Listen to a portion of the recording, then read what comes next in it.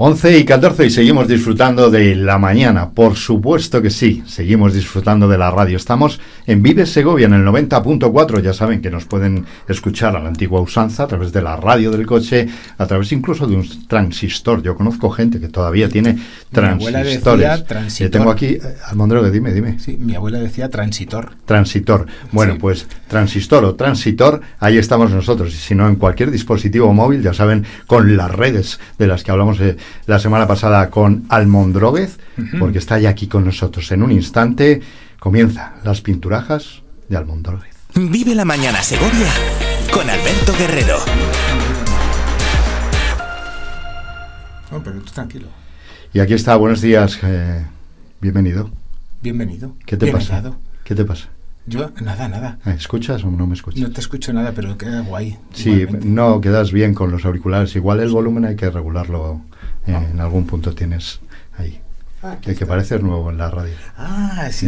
se, llama volumen, ¿eh? Es un potenciómetro, entonces va subiendo y se va escuchando mejor. Pinganillo. ¿Eh? Qué cosa más maravillosa.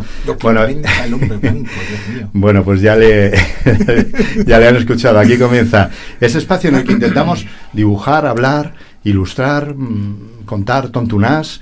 Eh, ¿Cómo estás? ¿Cómo ha ido la semana? Muy bien. Bueno, bien, sí, ha ido bien. Bueno, hoy he venido preparado porque la gente no lo ve, no nos ve. Ya, te iba a preguntar a mismo por ello, digo, pero como claro, me dices, vengo a hacer tontunar, yo digo, ¿qué, Eso es un invento de mi, bueno, un invento, una cosita que trae mi mujer, que es un ventilador de cuello. Es un ventilador de cuello. Les cuento a ustedes, a cada lado se ha colgado como si fueran unos auriculares, pero los ha puesto al revés y, en realidad es un ventilador de colores a cada lado. Cada auricular es un ventilador. ¿Eso es una indirecta para decir que hace calor aquí o...? No. Ah, la otra vez amenacé con que podía venir en calzoncillos sí, en bañador. Yo te esperaba, sí, pero. Bueno, todavía no te he visto porque te has sentado muy rápido y no me ha dado tiempo. No sabes lo que hay no sabes lo que A ver lo que hay ahí abajo, pero no quiero ni pensar. Como suelo decir, la culpa, la culpa es vuestra porque ya me conocíais a mí antes de haceros mis amiguitos. Ya, ya, ya. Bueno, pues eh, ya lo asumimos. Mira, eso está asumido, es algo que has conseguido, que ya te has colado aquí en el corazoncito de todos nuestros oyentes y en este 90.4, no sé si sentado encima del 9, del 0, del 4 o en el punto, pero bueno. O tumbado directamente. Bueno, esa podría ser una buena ilustración. ¿eh? Sí, bueno, 90.4. Te acabo, de, te acabo de dejar una idea.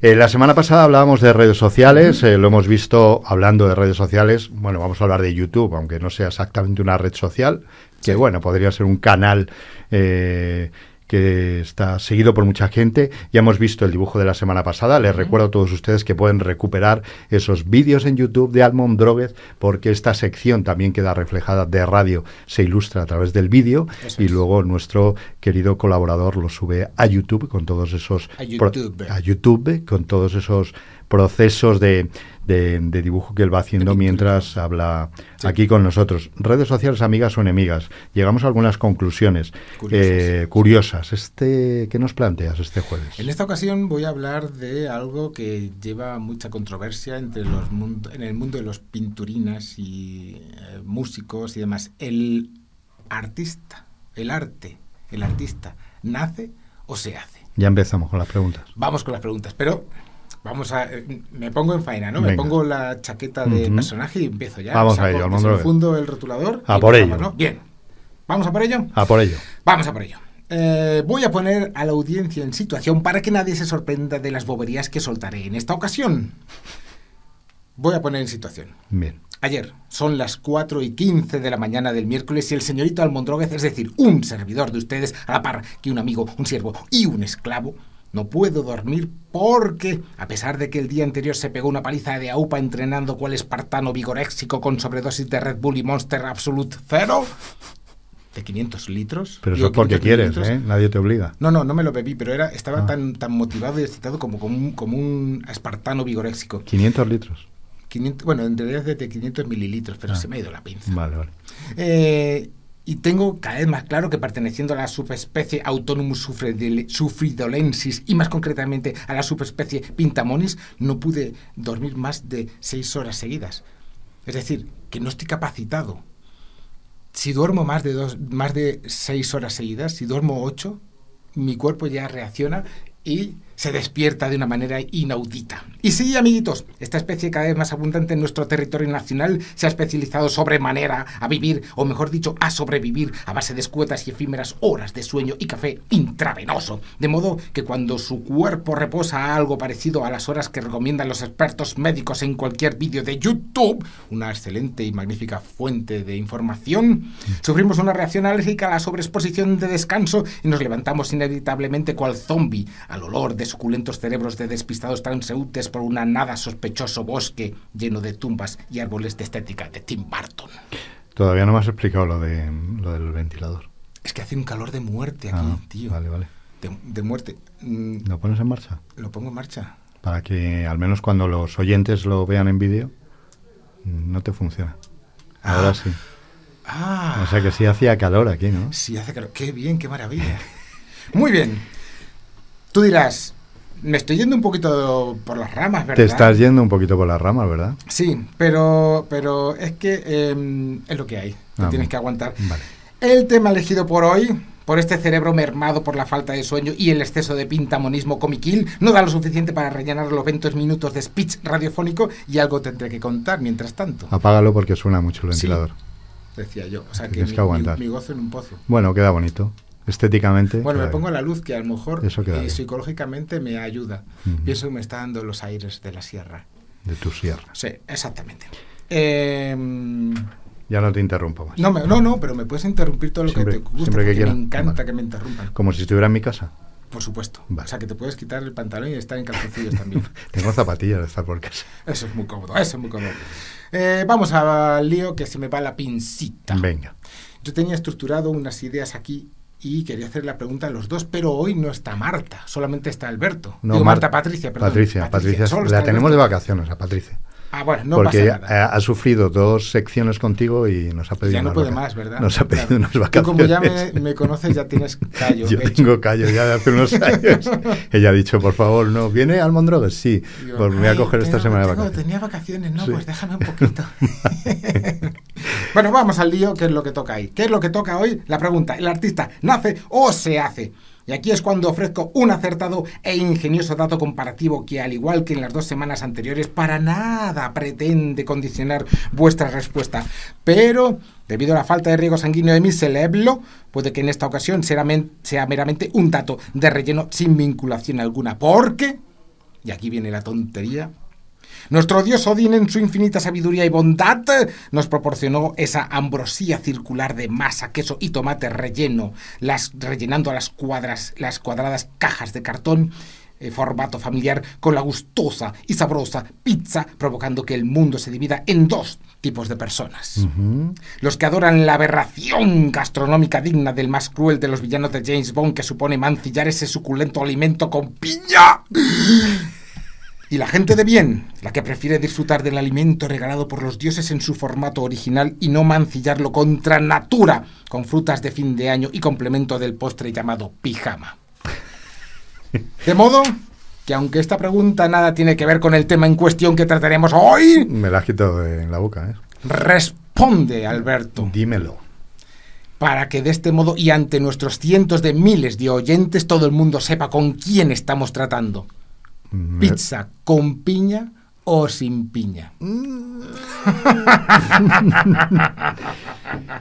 Puedo dar una doble respuesta, fíjate. Ah, o Porque voy a expresar mi deseo, Sí, que es sin piña, sin piña. y por, por consejo médico tengo que, en mis circunstancias, decir que con piña. Con piña. Pero, pero, a ver, cuando dices consejo médico, ahí tienes que tener en cuenta que el aporte de la piña, aunque sea una fruta, no va a mermar el quesazo, la masaza y el tomatazo. No, ya, ya, pero hecho. es Así como que un... Esto es el autoengaño. Sí, es un autoengaño. Es un... Es un placebo. Es un placebo. Bueno, entonces. no puedo mira, comer pizza, pero si me la como con piña... bueno, si te comes la piña de la pizza, hacemos un trato, un día quedamos y durante el- el- la emisión nos zampamos una piña con pizza. Vale, Perdón, te- una, piña con- una pizza con piña. Y tú te comes los trocitos de piña, como un pajarito. así es, así, que la piña me encanta, pero la pizza no, por favor. Por cierto, aquí lanzo una cosa para todos los que nos oigan. Pizza está, está, Pizza. eh, está, está mm, eh, Reconocido. por la RAE. Puedes leerlo tal y como se escribe. Pizza picolina, la motocicleta tutocromata. Es- También se puede decir porque estás intentando hacer el acento italiano. Pero pizza, Pizza. jamás. Vale. Pizza. Pizza, Vale. pizza. Pues traemos una pizza. Una pizza con Venga. piña. Eso es. Bueno, entonces te respondo. Me gusta sin piña. Bien, me caes mejor ahora. Ya lo sé. Ya le preguntaremos a Patricia el próximo día. Bien, una vez zanjada esta superflua y absurda cuestión, vamos con la segunda pregunta que nos ocupa antes de aportar ese chorraco de luz y conocimiento que mi persona cada semana os regala altruistamente. Y ahora sí, la pregunta viene. Y te pregunto, ¿el artista nace o se hace? ¿Tú qué crees? Que nace. Que Lo nace. digo categóricamente. Dice que nace. Que Bien.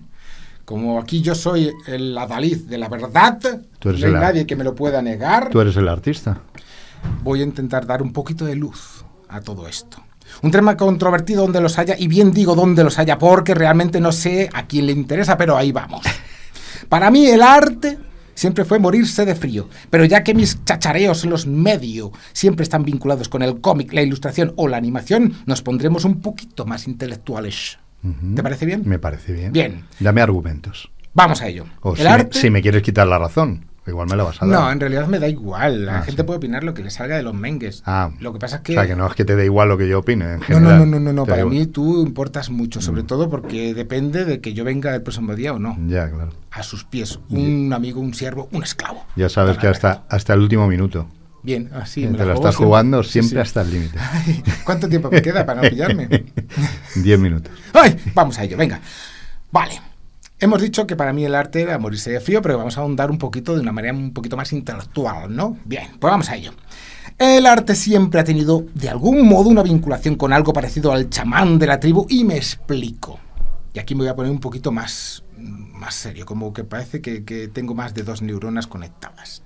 Un artista, a los ojos de la mayoría de la gente, es esa persona tirando a raruna o excéntrica que cuenta por medio de alguna de las bellas artes su visión del mundo desde una mirada que pretende ser original, crítica o que te obliga a pensar desde un criterio conceptual donde se percibe una lógica, una intención, una búsqueda o un estudio. Y esto sin tirar de Wikipedia.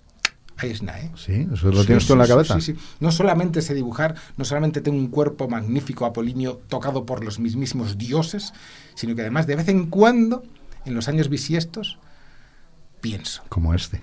Sí, ¿este un- bisiesto? Sí. Ah, por eso, joder, has tenido suerte. Claro. Has tenido Te suerte. hubieras quedado fatal, sí. ¿no? Sí. En fin, vamos allá a ahondar un poquito más. Un virtuosismo, una liberación de contenidos inconscientes, una expresión de ideas o necesidades espirituales. Vamos, que lo mínimo que se le puede pedir a una pinturaja de un artista es que no parezca que lo ha pintado un macaco drogado, pese a que algunas veces en Arco tengamos la sensación de que el comisario de exposiciones se pasó por la sección de primates del zoo para elegir las obras que se exponen. Y con eso no quiero ser crítico. Con nadie. No. Ah, pero lo has soltado. Lo has soltado, majo. Eso es. A este aura de misticismo incomprensible hace que la mayoría de la gente piense que los o ve a los artistas como seres que nacieron así y ya. Por lo que es muy común escuchar lo de es que para hacer esto hay que nacer. Y en un momentín han mandado a tomar por el culillo los años que has pasado formándote, trabajando y estudiando boceto a boceto hasta formar una pila de papeles dibujados de varios metros de altura. Estoy sacando mis conclusiones que luego te voy a decir con, con lo que estás diciendo. ¿eh? Sí, sí, luego entramos en un debate si quieres y, Sí, sí. y cruzamos guantes. si Creo que mi respuesta sigue siendo la misma a la pregunta, Bien, pero con bien. matices que me estás Ah, aportando ya empiezo a matizar, bien, Ya consigues que Yo, tampoco- yo de, de momento no estoy diciendo si nace o se hace. Ya, ya. Solo estoy aportando ligeros Vale, vale. datitos. Pero estás haciendo que reflexiones. Sí. Y entonces aquí es cuando yo me acojo a las palabras de Picasso que dan sentido a miles de horas que los pintamonas nos pasamos haciendo dibujines. Y es que la inspiración me pille trabajando. Mm. Ah, claro, cuando lo dice Picasso sí, pero cuando lo dice el ton- las tonterías de, de Almondroga, no, ¿verdad? Ah, ahí te voy pillando, cual profesor de facultad. ¿Qué es lo que esto significa? Pues bien, San Google dice que se considera artista cuando es una persona con talento y las habilidades para conceptualizar y hacer obras creativas. Mayoritariamente la gente se queda solo en el primer concepto, que es una persona con talento, y se olvidan del resto. Pero el resto es importante. Con esto estoy diciendo que un artista se hace, es decir, que si estudias mucho sobre composición, encaje y mancha, teoría del color, técnicas pictóricas, en el caso de los pintamonas, ¿acaso vas a pintar la noche estrellada de Vincent Van Gogh? Yo creo que no. O si estudias con ahínco el ritmo, la melodía, la armonía, la forma y la textura, ¿vas a ser el nuevo Johann Sebastian Bach? Yo creo que no. ¿Te has dado cuenta cómo, cómo eh, enriquezco Sí. a, la, a la plétora de la gente que nos está escuchando con, con esa verborrea? Es que lo haces Esa- muy bien. con- Es un dominio absoluto de todos los idiomas. Pero ¿sabes lo que creo? Que, que lo haces así también por el riesgo que siempre corres, lo que decíamos, de hasta Sí. el último minuto saber si vas a volver o no. Claro, tengo que mm, ser interesante Claro. para que no me manden a tomar Por eso, vientos. porque sí. no, porque si te relajas al final Si vuelves el- a ser tú. si no, me- el ¿eh? no, no, no, Si te relajas vuelves a ser tú y no ser, merece la puede pena. ser. ¿eh? Si vengo el calzoncillos, ¿tengo más puntos? Sí, te ganas un, un día extra. Bien. Es el decir, próximo día, compensa que un día lo hagas mal por los Bien, calzoncillos. Bien, bien, bien, bien. Así que ya lo sabes. Bueno, como, pues como todo en la vida, no hay una verdad absoluta.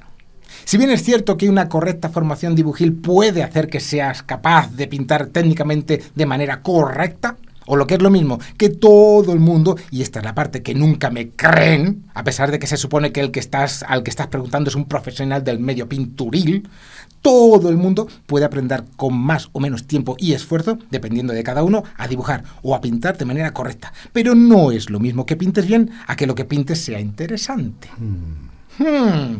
Ay, qué guay. Cuando uno hace ese ruidito, da un, te da un aire de intelectual, de, El, de- de mm, inteligente. Sí, como, claro, mm. yo lo uso mucho cuando no sé qué decir. Ah, claro. Mm, entonces queda bien. Yo, lo, yo cuando veo un bollo de crema, un bollo de O sea, crema. cuando no sabes qué comer. Sí. No, cuando Sí, sé, lo com- que, cuando sé lo que quiero comer, pero no debo. si, si este bollo o el otro. Claro, la pregunta no es si este o el otro, sino cuántos Los de dos. cada uno. Pero estamos ya en una edad en la que ese tipo de cosas, No. mira, cómete unas pipas y ya. y tira Yo voy con la piña, de momento voy servido. Bien, no me piña, el piña, piña. Venga. Pues muy bien. Em, ¿Cuántas veces has oído decir a alguien, yo dibujar de cabeza? Mira, espera, voy a poner voz de persona que no soy Como yo. si fuera otro. Yo dibujar de cabeza no, pero me pones una foto y te la saco clavada. Qué bien. Eso lo has oído muchas veces, ¿verdad? Sí, sí, sí. Con otros tonos, pero, pero más o menos. Y es ahí donde está el matiz de todo esto, porque si lo que pintas en base a una foto es interesante, el mérito que puedes tener es técnico, pero no está nada mal, que no está nada mal, o sea, está muy bien tener un- unas dotes técnicas del dibujo, pero realmente lo interesante ha estado en el ojo que ha sacado dicha foto. Luego no importa el medio, sino la mirada. Mm. Una mirada que debe ser tener educada en composición, en teoría del color, en multitud de factores que hacen que esa mirada sea única e interesante. Y termino con una analogía deportiva tirando a viejuna para explicarme mejor. ¿Cuánto tiempo me queda?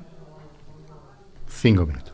Entonces voy a intentar vocalizar bien. Porque te sobra tiempo hoy. Sí, pero luego vamos a poder debatir sobre Claro, este tema. claro, Y si quieres, para el podemos debate. llegar a los puños si es Bueno. necesario. Quiero recordar a nuestros oyentes que mientras nos eh, cuenta estas tontunas eh, ahí está dibujando el dibujo que luego verán ustedes en YouTube. En YouTube. YouTube.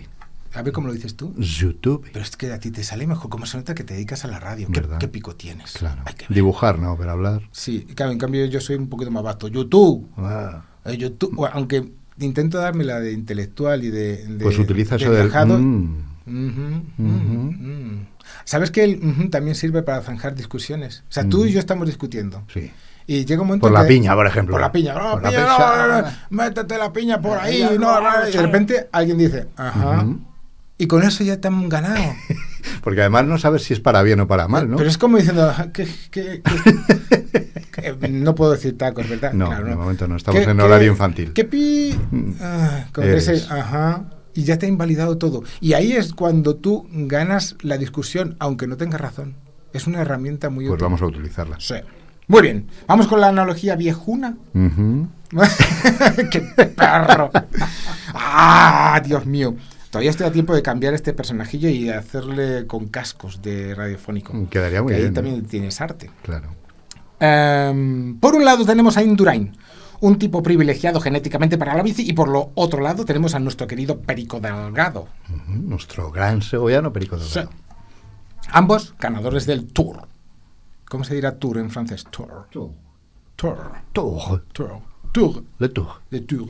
Cualquier cosa que digas con los burritos para adelante ya es francés. Le Tour. ¿A que sí? Ujú. Mira, voy a- la siguiente frase te la voy a decir así, Venga. en francés. Perico Delgado no tenía las cualidades innatas de Indurain, pero la suplía con una capacidad eh, para el sufrimiento sobrehumanas. Te ha quedado mejor el italiano de la pizza. Sí. sí pero bueno, sigue, sí. La motocicleta, tutto cromata. Eso, muy bien. Sí. sí. Eso le pasaba con Perico. Eh, Indurain, por el contrario, podría haber confiado solamente en su asombrosa genética y ya. Y si hubiera quedado en un puedo y no quiero. Va- vas viendo por Voy dónde van los tiros sí. de la analogía tan hábilmente hilada, ¿verdad? Muy bien. Pero, ¿qué hizo de Indurain uno de los mejores ciclistas de la historia ganando cinco Tours?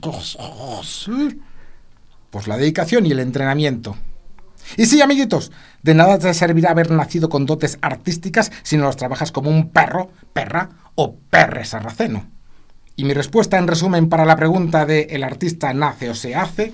Es- Diré 25% se nace, 75% se hace. O sea que tenemos razón. eh, bueno, tienen razón ambas respuestas. Yo he, yo he dicho que se nace. Sí. Vale. Pero es cuando, es cuando, mm, claro, no lo veis, los, los, mm, Los oyentes no lo están viendo En ahora. YouTube sí. Imaginaos que esto es un micro. Esta cosa que se hace Mm, así. ajá. Como mi medio es el lapicero, pues tiene un lapicero. ¿no? No queda igual de Una chulería. pero bien. Una chulería más, ¿no? Exactamente. Vale. Lo Qué definimos ¿qué- así. qué- qué- ¿Cómo lo ves? Pues lo veo bien. que La verdad es que te decía antes, estoy llegando, estoy reflexionando según te oía y mm, Mm, mm. es que no lo sé hacer. Yo hago el mm de me quiero comer un bollo. no, no, Y no es- sale. Es intelectual, es un- Ah, a ver, ¿cómo? Espera.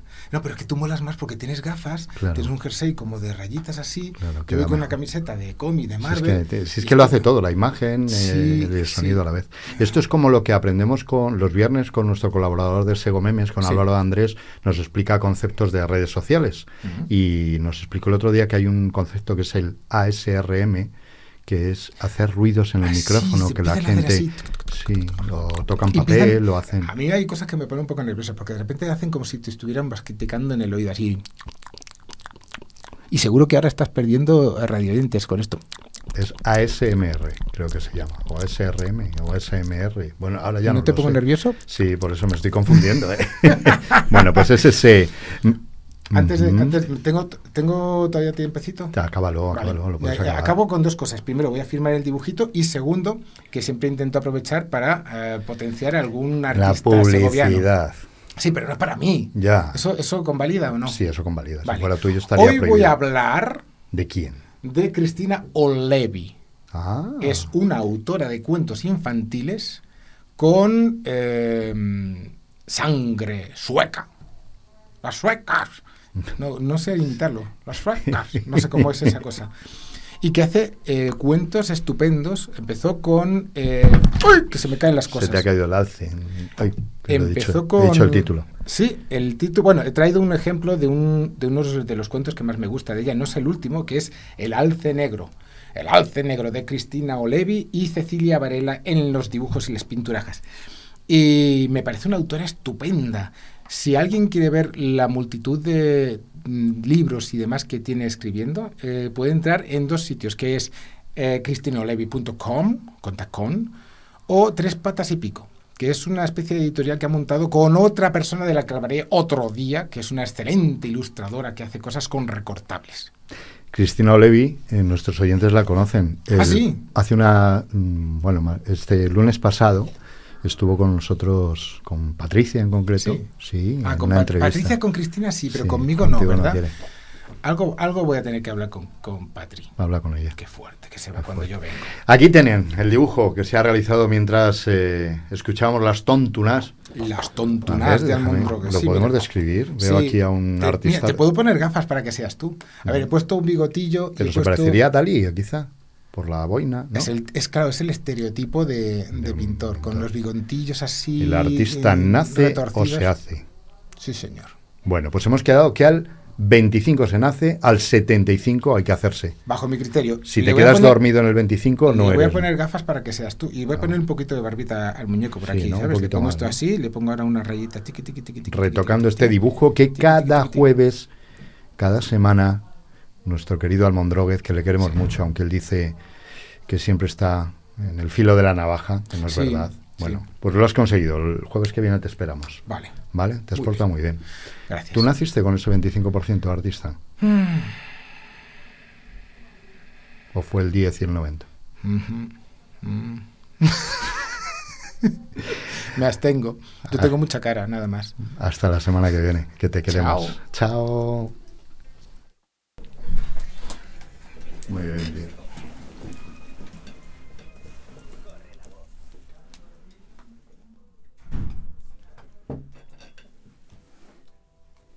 Muy bien, tronco. Sí, está bien.